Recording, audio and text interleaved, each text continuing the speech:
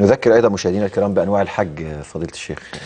الحج ثلاث أنواع. عندنا الحج الذي هو على جهة الإفراد وعندنا التمتع وعندنا القران قران بمنتهى البساطة الحج اللي هو الإفراد المتنسك فيه ينوي الإحرام بالحج فقط.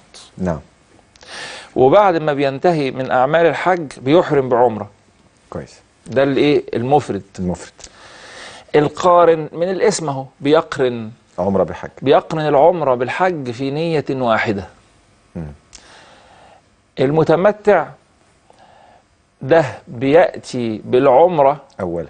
في أشهر الحج اولا. لازم تكون في أشهر الحج اللي هي شوال وذو القعدة وذو الحجه وبعدين يحرم بالحج فده يبقى متمتع. يتحلل ثم يحرم بقى للحج يتحلل ثم